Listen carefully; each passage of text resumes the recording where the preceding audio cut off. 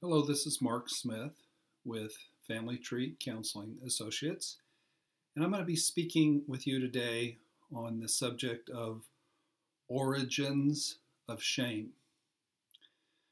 The negative voice that we have inside that pushes us and shames us and criticizes us and causes us to spiral, we are not born with that that comes from many generations of bad stuff happening and many generations of harshness and criticism and abuse and rage and shame.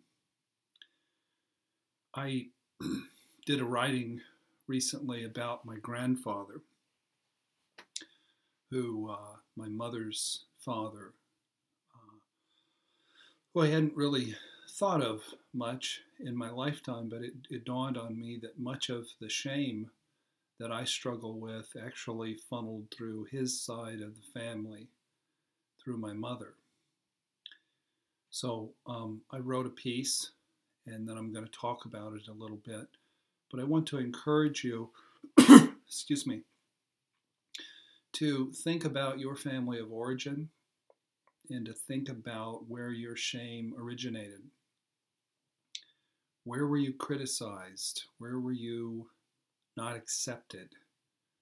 Uh, where was there harsh messages coming from? Certainly, some of our harsh, me- harsh messages can come from school or peers or siblings, but most often it comes from mom or dad or mom and dad. So here's the piece I wrote. It was uh, referencing uh, my father's, my grandfather's funeral. And this was, uh, oh my goodness, probably uh, eight, ten years ago. Uh, actually, more than that, probably uh, 10 to 15 years ago. The honor guard shot their rifles out of respect for the man's service to his country. We were then presented with a crisply folded American flag and some shell casings. But somehow all the pomp and circumstances didn't really match the man I had known. For the man I had known was a rigid, curmudgeonly old bastard, my granddad. The man I knew was too small to receive any feedback, and his rage could turn him into an irrational bully at the drop of a hat. It saddens me to think of my mother's free spirit when she was a child at the mercy of this father impostor, this thug. And I'm sad to know that she ultimately, in many ways, became just like him. I think that the truth of a person should be spoken, spoken of clearly and loudly and graciously and firmly at their funeral instead of niceties and white lies. The truth was that the man I knew was the abandoned son of a family of harsh, rigid, black and white thinking, vicious Catholic little Dutch folks. Um, their particular brand of faith uh, was was very black and white. Uh, I think there were three uh, nuns in the family, lifelong nuns in the family. The man I knew was a sad little man, a man whose arrogance ultimately humiliated and defeated him. The man I knew who could not, he could not handle the truth, and he could not really pay attention. He, he was a man isolated from the world. Not to say that my grandfather was an all bad man. He maintained a very beautiful garden right across the street from St. Joe Hospital in Kokomo. he had a very cute little comedy routine starring Arthur, his uh, little troll with green hair. He would come out with Arthur and say, um, Arthur's not hungry, and he doesn't think we should go out to dinner tonight. He thinks we should just have water and toothpicks. Um, he also owned several successful clothing stores that he had built with my grandmother. But ultimately, this was a man who was only much loved by his very patient, long suffering, codependent wife, my grandmother. This wounded little man set the course of my shame based life by all but destroying the touchstone of my ragged childhood, my mother. I could support the 21 gun salute the praise, the honor. I could support it more if, if the truth were told. And while the truth can be dark and it can be gritty, it's so much more real, it's so much more alive, and it's so much more connecting than the normal shallow nonsense that gets spoken at most funerals. So I have a question folks who are watching this video, what's the truth about you? What are, what are your blind spots? What words of truth should be spoken at your funeral, should that arrive? And the truth is, it could arrive for any of us at any moment. Who are you in your marriage? How do you treat your spouse? What's, what's the truth of how you act in your marriage? What do your children need that they're not getting from you? How were you wounded as a child? We all were. What scars are you trying to cover up? And what addictions or defenses are you using in order to cover up? What, what is the truth about you? At Family Tree, we espouse a program of a lifestyle, really, of recovery. And recovery is simply that it's simply knowing who you are, knowing where you came from, knowing the truth about you and then working very effectively, not not fastly. it, it's a slow process, but working every day effectively to address the truth about you, the issues that you have. That's what recovery is. When we think of recovery, many times we think of alcoholics or drug addicts, but everybody you know, including yourself, could benefit from knowing the truth about themselves and then healing the root cause of those issues. So, recovery works by having stunning, life changing, crisp, clear, penetrating insight into who you are and where you came from and why you married who you married and who your spouse is. That's how recovery starts is powerful insight. The second thing that happens in recovery is you get to meet the wounded little kid at your core. So often I'll get I'll get a new client and and uh, they don't want to be crazy. they don't want to be normal. They don't want to be dysfunctional. They want to believe the press that they've their press clippings that they've saved that you know, I have a big house and a pretty wife, and I make a lot of money, and I have a cool car. My kids are good looking.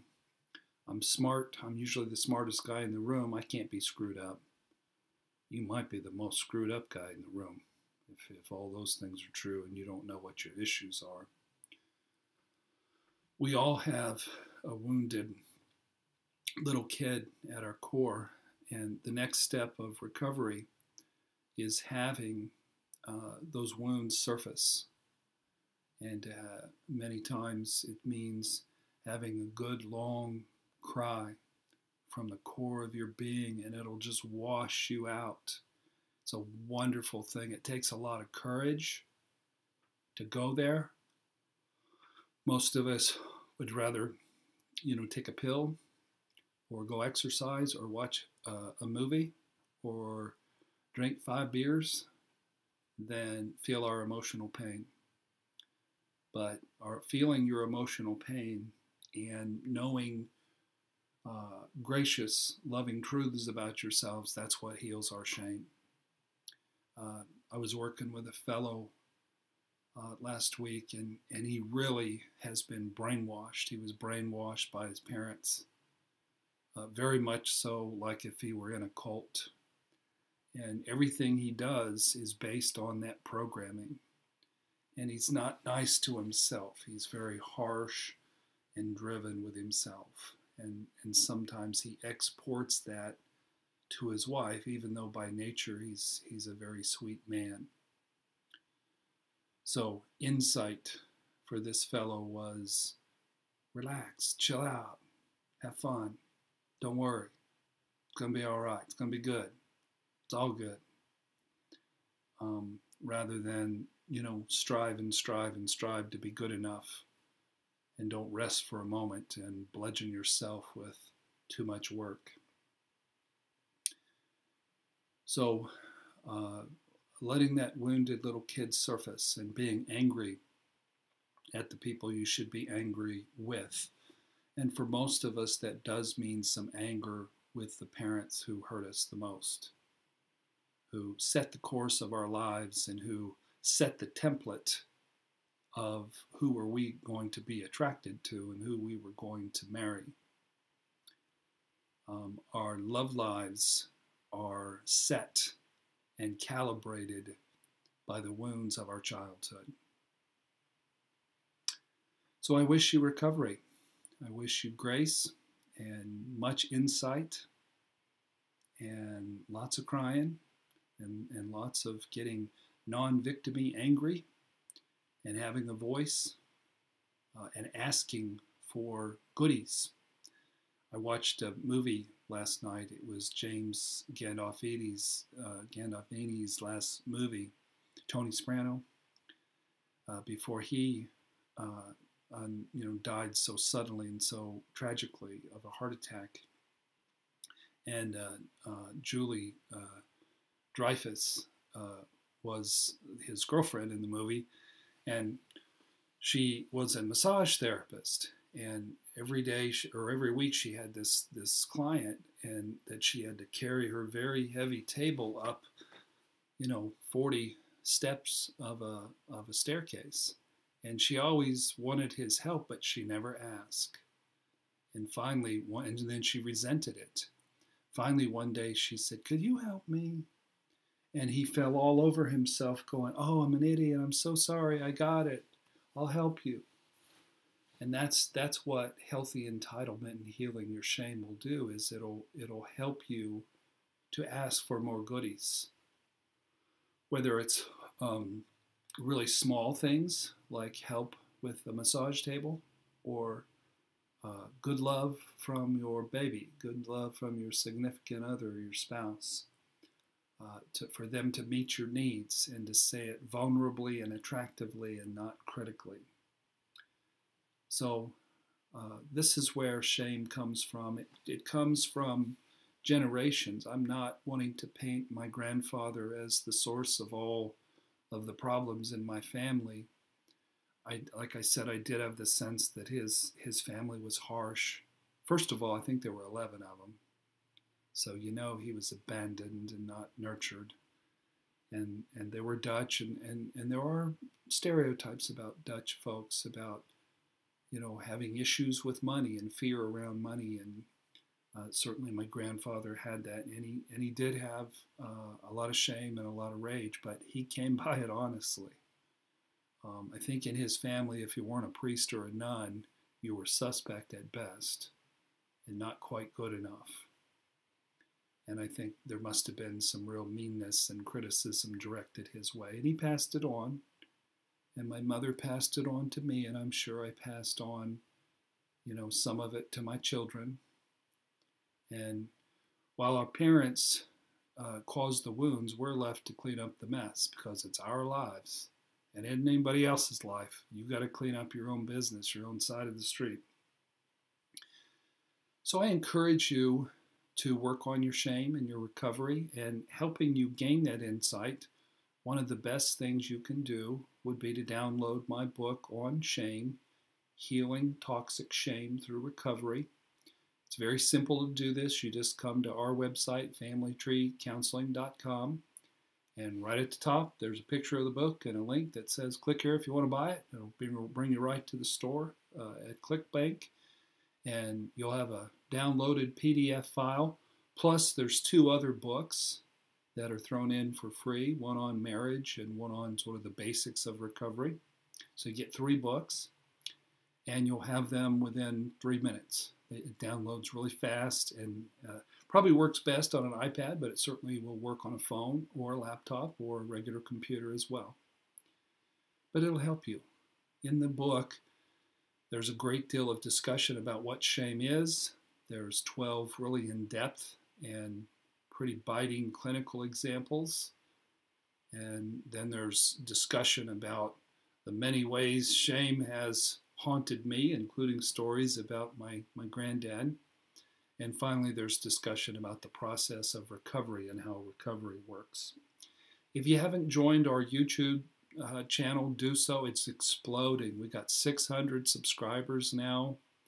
One day last week, we had over 800 views. And of course, I've got all my staff participating now, or most of them, where Kathy Henry's making videos, excellent ones, and Christy Alioso, Eloso, I think I said it wrong, and uh, Javon Lockhart and Andy Holzman are joining uh, Jerry Wise and I in making videos, and you'll love their stuff. They're very insightful. They'll give you the same material that Jerry and I are given, but just with their particular style.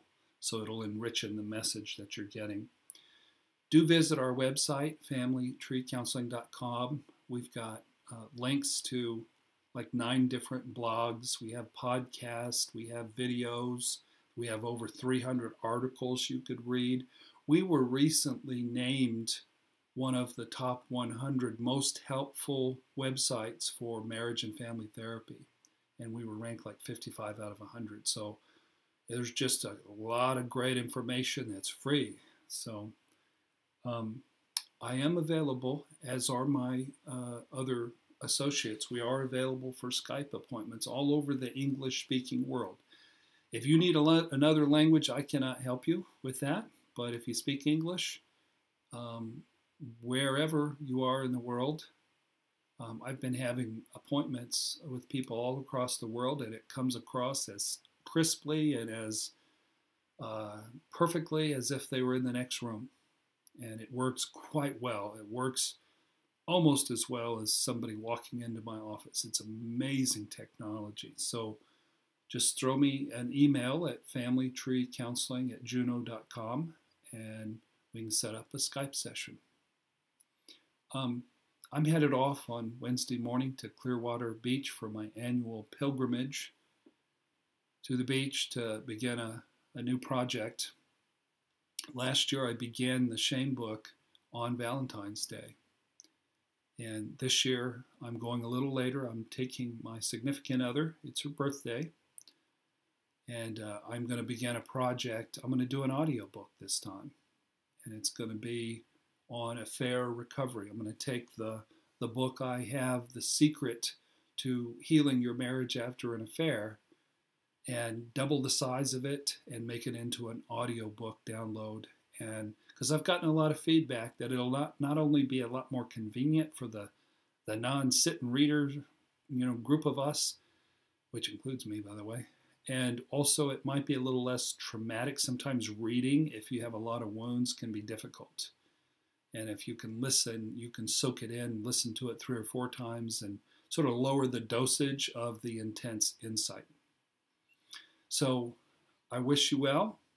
I wish you that you would lessen your shame and live a really blessed and prosperous and happy life. Thank you so much for watching the video and for supporting our work here. And uh, uh, download that book, and thank you so much for doing so. God bless.